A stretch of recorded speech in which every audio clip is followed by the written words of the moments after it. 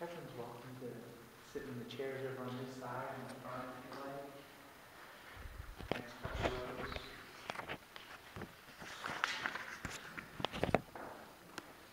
Be with you today in order to share this important time.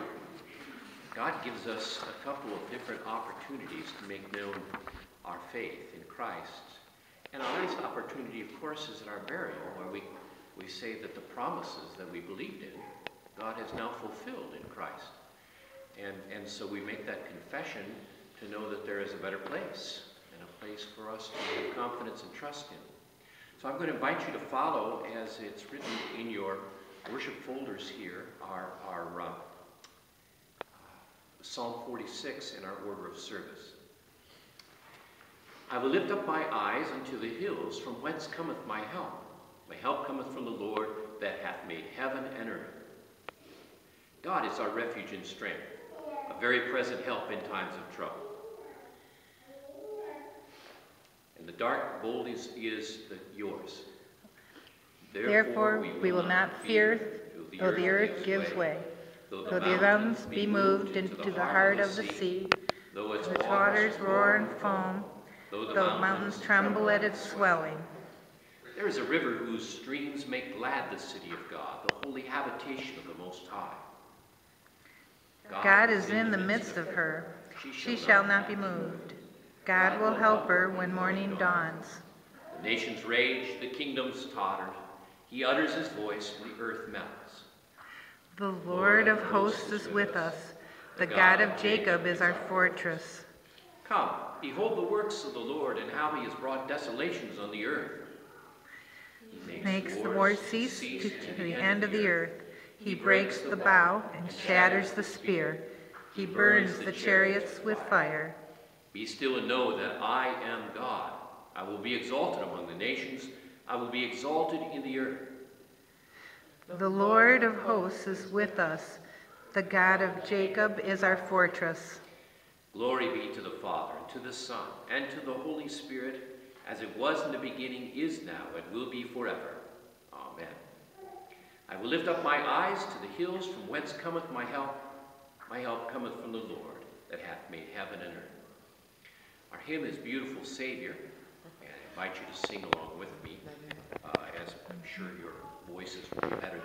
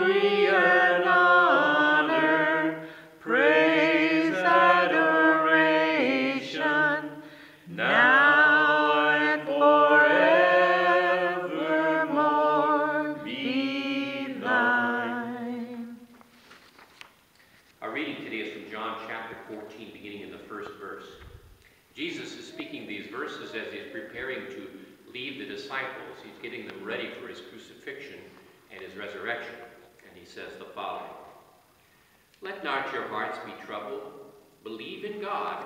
Believe also in me. In my Father's house are many rooms. If it were not so, I would have told you. And I go to prepare a place for you. And if I go and prepare a place for you, I will come again and take you to myself, that where I am, you may be also. And you know the way to where I am going. Thomas said to him, Lord, we do not know where you are going, so how can we know the way? Jesus said to him, I am the way, and the truth, and the life. No one comes to the Father except through me. This is the word of the Lord.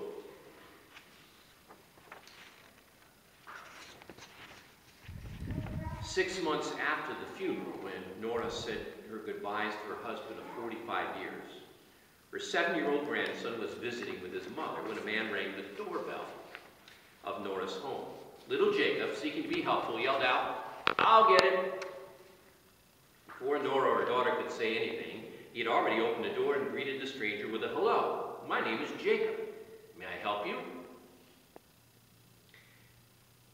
Well, I'm here to see Robert Tillman. He's not here.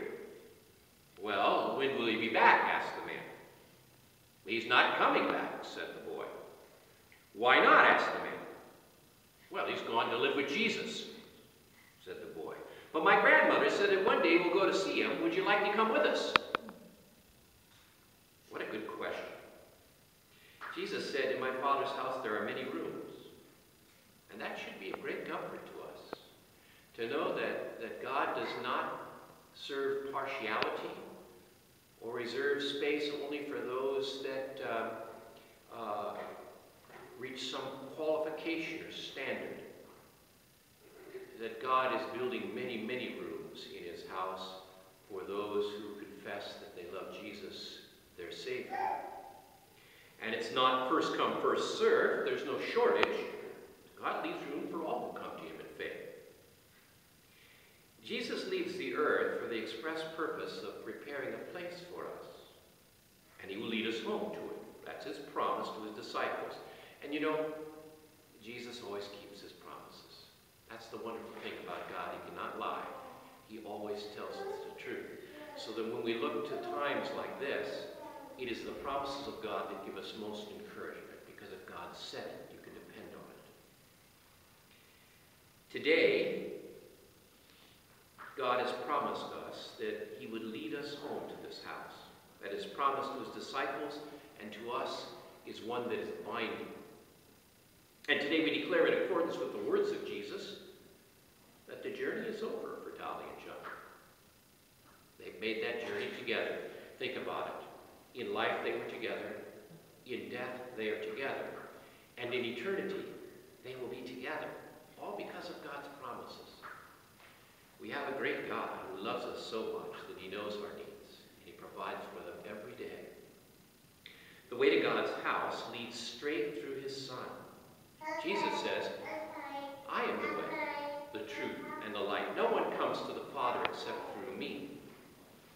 And Jesus wants to lead us home to the Father. So we have comfort in knowing that if we follow Jesus, if we hold to faith in him, then we will never be disappointed. He will show us the way home. After all, he's the one who's been there and come back. And we will go again.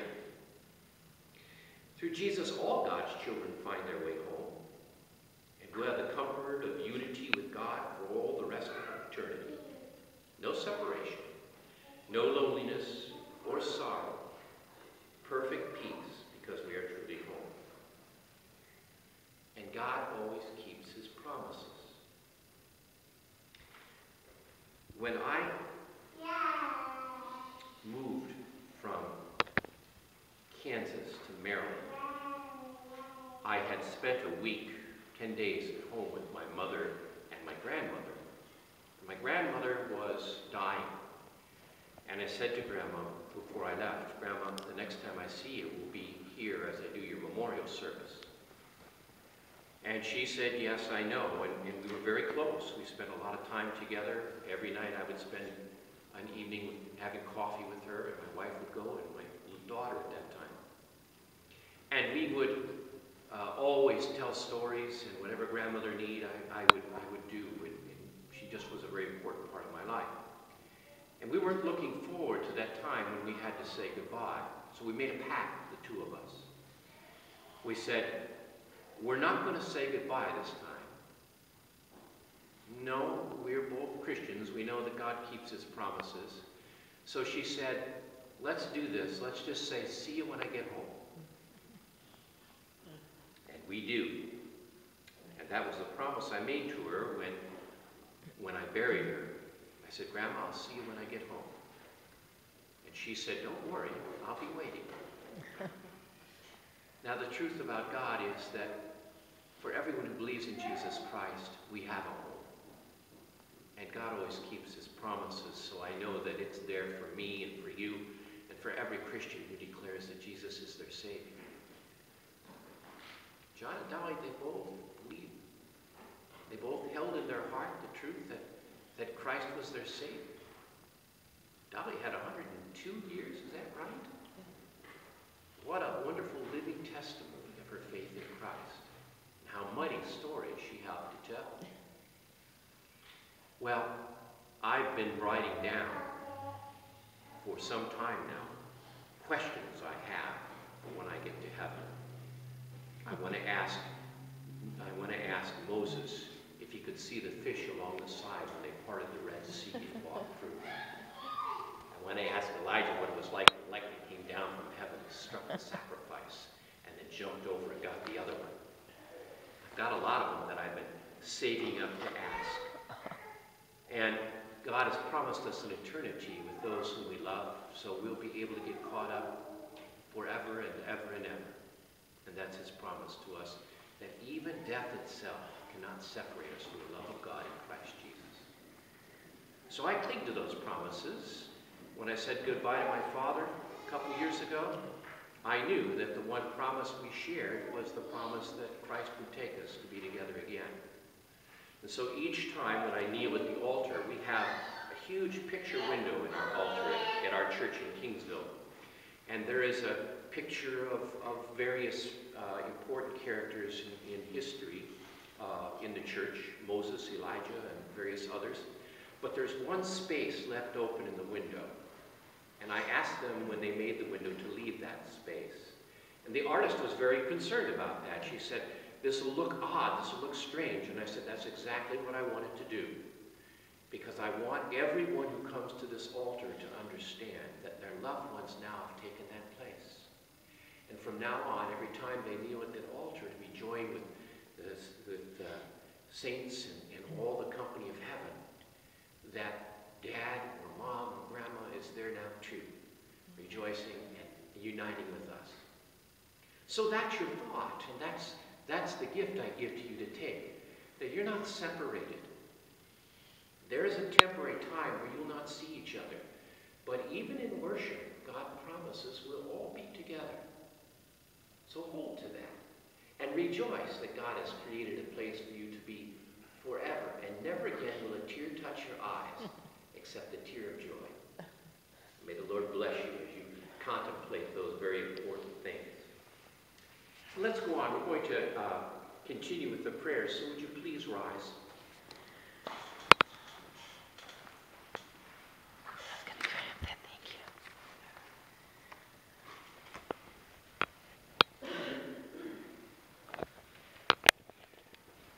Merciful Father, Lord of life, with the spirits of those who depart in the faith, we thank you for the blessings of body and soul that you granted Dolly and John, this departed brother and sister, whose earthly remains we now lay to rest.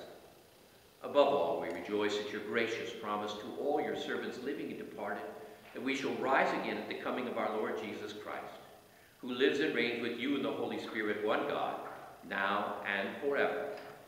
Amen. Amen.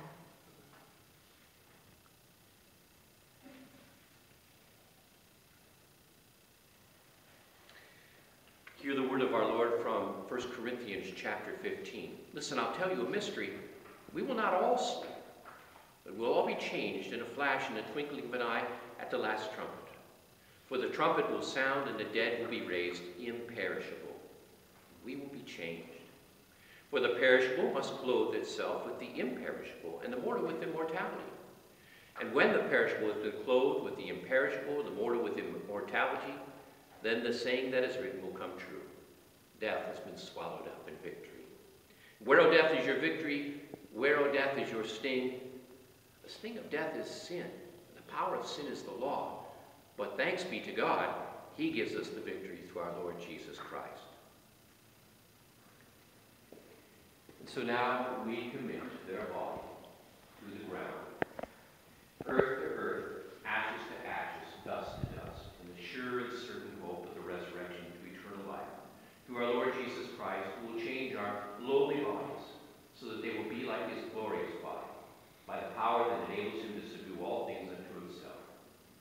May God the Father, who created this body, God the Son, who by his blood redeemed this body, and God the Holy Spirit, who by holy baptism sanctified this body to be his temple, keep these remains to the day of the resurrection of all flesh. Lord, remember us in your kingdom and teach us to pray together. Our, Our Father, who art in heaven, hallowed be thy name. Thy kingdom come, thy will be done on earth as it is in heaven. Give us this day our daily bread, and forgive us our trespasses as we forgive those who trespass against us. And lead us not into temptation, but deliver us from evil. For thine is the kingdom, and the power, and the glory, forever and ever. Amen. Almighty God, by the death of your Son, Jesus Christ, you destroyed death, and by his rest in the tomb you sanctified the graves of your saints. By his glorious resurrection you brought life and immortality to light, so that all who die in him abide in peace and hope. Receive our thanks for the victory over death and the grave which he won for us. And keep us in everlasting fellowship with all that wait for him on earth, and with all in heaven who are with him who is the resurrection and the life, Jesus Christ our Lord. Amen. And may the God of peace, who brought again from the dead our Lord Jesus Christ, that great shepherd of the sheep, make you perfect in every good work to do his will, working in you that which is pleasing in his sight, through Jesus Christ, to whom be glory forever and ever church has traditionally spoken this word of promise Christ is risen, he is risen indeed. Shall we do it again? Christ is risen. He is, he is risen indeed. Let us go forth in peace in the name of the Lord. Amen. Amen. You may be seated as we continue with our closing hymn for all the saints. For all the saints from their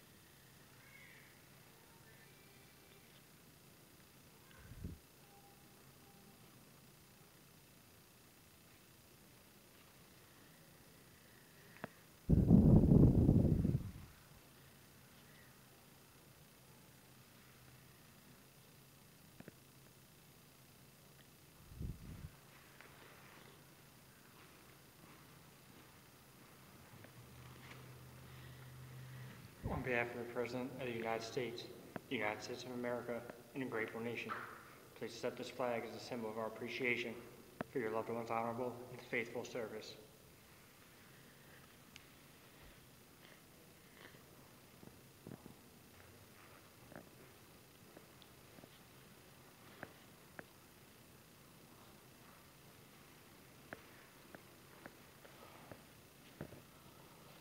The interment will take place privately at this time. We ask the pallbearers to step up to help us bring the casket out to the hearse, and everyone else, please follow us out of the chapel. Um, There's some paperwork back here for you to sign, a map for you to take